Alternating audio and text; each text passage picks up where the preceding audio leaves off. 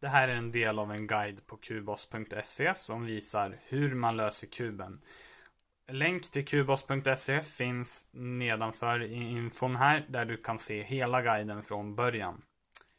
Så, det vi nu ska göra när vi är klara med det första och andra lagret är att göra ett kors precis som vi gjorde i början. Nu har jag redan ett kors. Så då kan man skippa till nästa steg. Men antagligen har du inte det.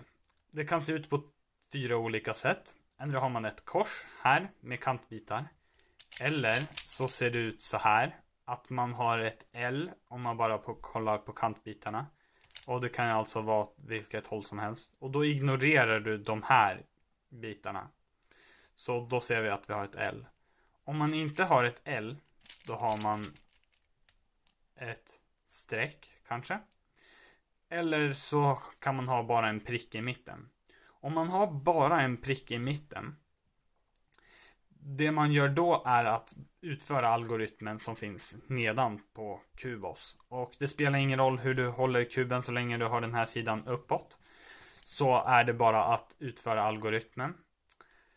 Som är front, right, up, right inverted, up inverted, front inverted. Och om du hade en prick, då kommer du nu ha ett L. Om du hade ett streck som jag hade, då har man redan korset. Så nu ska jag gå igenom alla. Om man har ett L, så här. Då försöker man lägga det precis som det ligger nu. Så om du har ett L åt det här hållet, då lägger du L så. Och så gör du algoritmen som finns nedan. Så. Och då kommer du ha ett streck. Och det här strecket ska vara åt det här hållet, alltså inte så. Du lägger det här strecket så. Och då är det bara att göra algoritmen en gång till.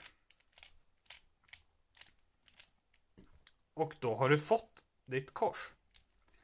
Om det var så att du hade en prick i mitten, som sagt från början.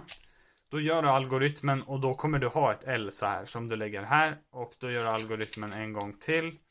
Och då kommer du ha ditt streck och då är det bara att göra en algoritm till och då har du ditt kors. Det var allt för den här delen.